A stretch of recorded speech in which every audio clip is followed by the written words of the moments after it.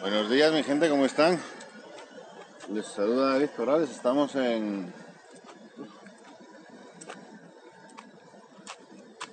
en Missouri. En Missouri, estamos en Missouri. Nos dirigimos hacia San Luis.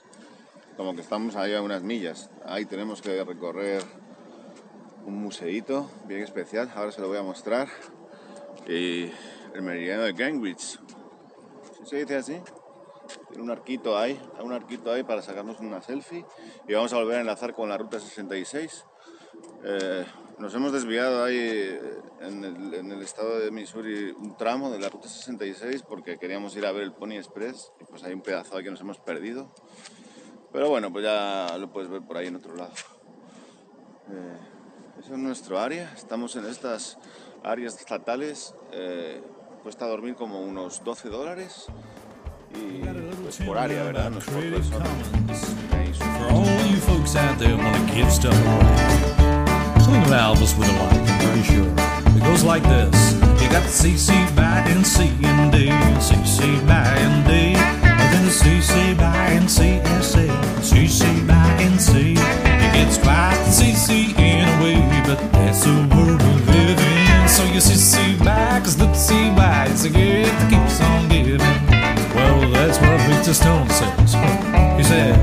see see by and see and day, and day. Then see see and see and see. It's quite see see in but that's the world we live in. So you see see by, look see by, it's a gift keeps on giving. I hope that uh, gives you some sort of answer.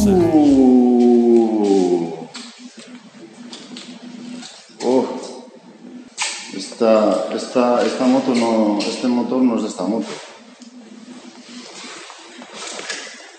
Este motor es una, es una Ural. A veces pasaba que en la guerra entre, la- entre los aliados como que componían, ¿verdad? Cogían piezas de uno y otro. Ese no es un motor BMW. Esto es como todo, tío. Las hay que son feas, ¿eh? Porque mira esto, tú, cuidado con ello. Está partido el chasis por la mitad y puesta una transmisión más larga y es la más larga del mundo, este modelo de moto. Es bien bonita, ¿verdad? Ustedes saben que en España tenemos la tradición de, pues, eh, pues antes de las, de las bodas, ¿verdad? Como que se hace lo, lo del anillo, se compra el traje, el banquete y todo eso, y, y es tradición, allá en mi país, eh, lo que llamamos la moto de compromiso. Pues, ah, pues la teoría dice que la familia de la novia regala una moto al novio, ¿no? Pues como para cambiar. Pues si tenías motos de pista o motos potentes, como que pues cambiar una moto, ¿no? Pues como más lógica, más, pues para no estar todo el día jugándote el pellejo. Y pues yo ya llevo tiempo buscando mi moto de compromiso, pero pues todavía no encontré. Club suicida. Y rígido, el chasis rígido, tío, esto es lo que le gusta a los harlistas.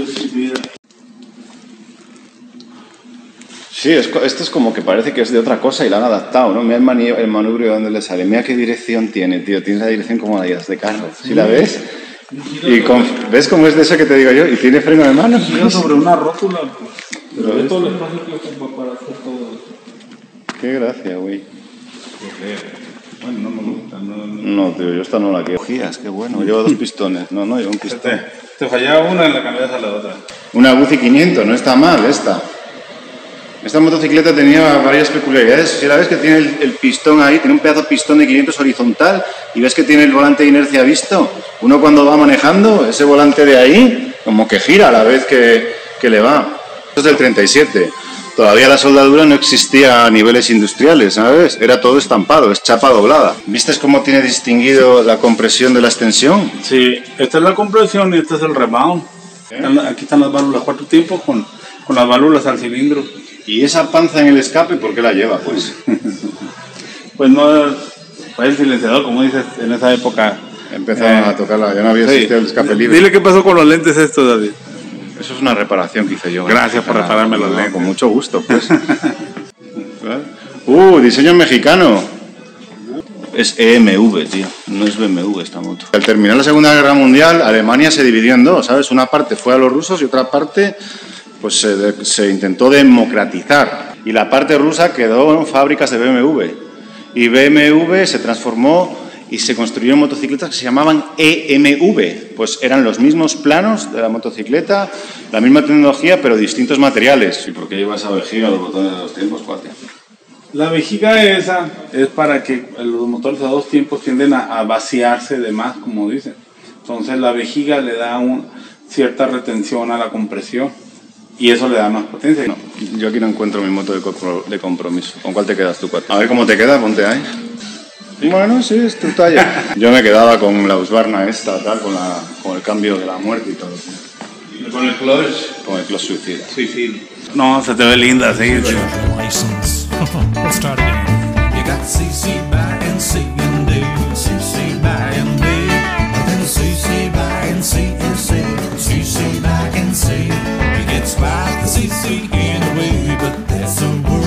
So you CC back, look, see why it's a gift that keeps on giving.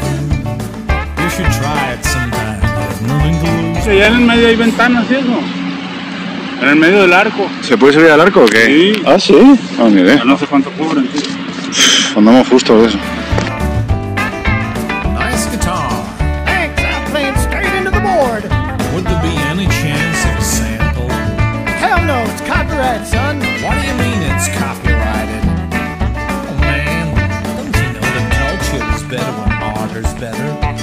And art is better the more sharing there is. Come on, stop being such a celebrity. Yo pienso que es por las dos cosas, por el efecto y por el peso, que arriba es más delgado. Sí, joder, como todo, ¿no? Abajo más peso para tener más base. Estos que gastan aquí, cuatro. Vale. ¿Te está torcido o qué? Está un poco para acá. Va a tener que venir un pinche mexicano aquí a decirles a los gringos que hicieron más el arco este. Que tiene una pinche cuerda para allá. Eh, Pues sí, este es. Este es de Gateway, ¿no? Gateway. Es como la puerta hacia el Gateway. Ah, bueno. Mexicanos polillas. ¿En qué año se hizo esta? Tío, me estás preguntando delante de cámara encima para comprometerme. Esas eran oxidables. ¿Tú crees? Ah, sí, Eh. güey. Sí, sí. Soldado. Acordones están bien hechos, ¿eh? Estos gringos. ¡Ay! Captando la energía del pinche arco. Qué bien hiciste en preguntar, Nunca, tío. nunca vi las Y yo instrucciones. no, tío. Y es que tú, pero es que le- la de las instrucciones del saco de dormir me cambió la vida, ¿sabes? No veas lo rico que dormí hoy, tú. Eh, unas chichadas. No lees, pues no lees. Y en el baño se lee mejor. Mira, Ah, pues. Ah, pues, thank you so much. ¿Cuánto vale entrar? Tres horas hay que esperar para subir ahí, 20 pavos. Que tú no vas a volver aquí en la vida, ¿sabes? No, que sí que vas a volver. O sea, ¿cuándo vas a volver? No vas a volver nunca. ¿Sabes? Pues hay que disfrutarlo, dejar aquí la pasta, eh, vivirlo, ¿sabes? Ahí se ve que es como de diferentes colores, ¿eh? No era la misma calidad el aluminio, es el sol. El inoxidable. Esto como de aquí hacia allá en el camino que nosotros llevamos, va- caminamos hacia el oeste. Ah, era el último punto, esta ciudad de San Luis, donde los colonos se aprovisionaban, ¿verdad? Donde llenaban esas carretas, ¿verdad? Esas carretas blancas, como que las llenaban con alimento, con sus provisiones, con las herramientas que necesitaban para la conquista del oeste. Y de aquí para allá empezaba, o empieza todavía hoy en día, el Bible Belt, que es como el cinturón de la Biblia, ¿verdad? Como que toda esta zona hacia allá, pues los colonos iban como, eran bien creyentes, ¿verdad? Y iban a la conquista del oeste, a las nuevas rutas, con fe, como me dice más piso canadiense que vaya. Hay que ir con fe, pues con fe vamos a ir. Y hacia allá, de arco hacia allá, eh, existía lo que se llamaba el antiguo Manufacturing Belt, como el cinturón de la manufactura estadounidense. Ahí está Chicago, Detroit, e Indianápolis. eh, en todos esos sitios está la Chrysler, la Ford, eh, es fue donde Goodyear eh, descubrió el vulcanizado, eh, la Harley Davidson. Es como la zona potente. Eh, hoy en día ya tiene un nombre más irónico, ¿verdad? Como que se ha venido a menos y le dicen el Rust Belt, a tope con el inglés. Es como el cinturón oxidado, ¿verdad? Como se entere Trump, tú, te manda para allá, güey. Es que el mexicano aguanta mejor al sol que el españolcito, ¿sabes? Es que este es de desierto, yo soy de montaña, ahí no aguanto. Encima con el traje puesto, pues no te digo. Estos carteles me encantan. Sí, pues una de las más importantes. ¡Anda! ¡Qué chuli, ¿no?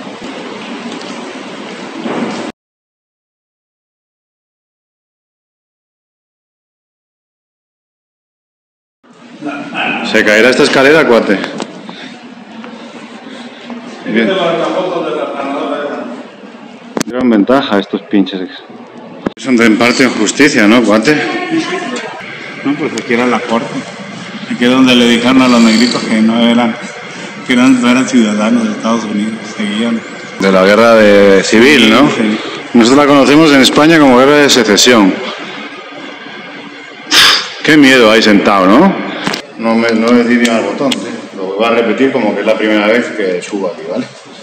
Hey, thank you. Wow, wow, it's amazing. Wow, Cuatemurillo. No, no lo digas tan corto, güey. Ten cuidado, se está a rodar por ahí, ¿eh?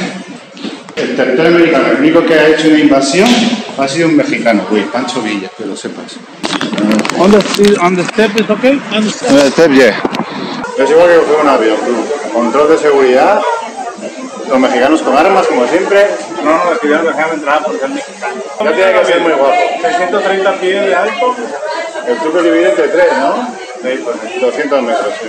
Okay, so you're taking pictures out the window to turn the flash off.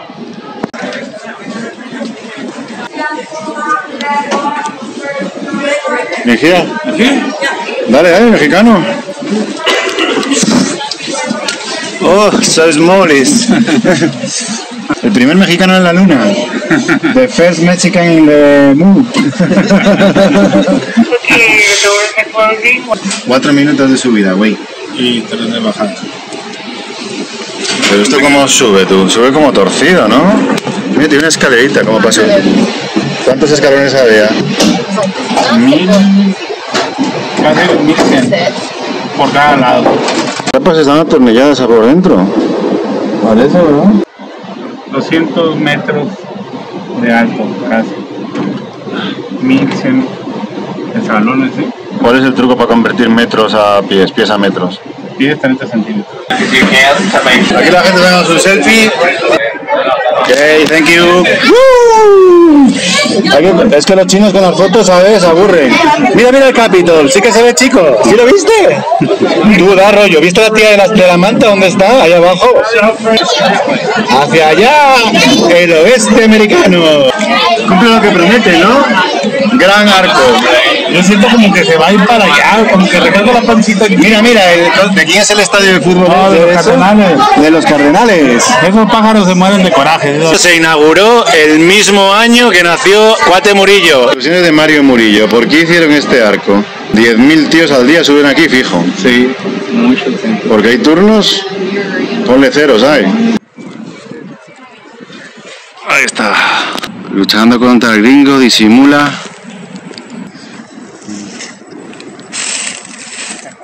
Escondiendo armas aquí. A los gringos.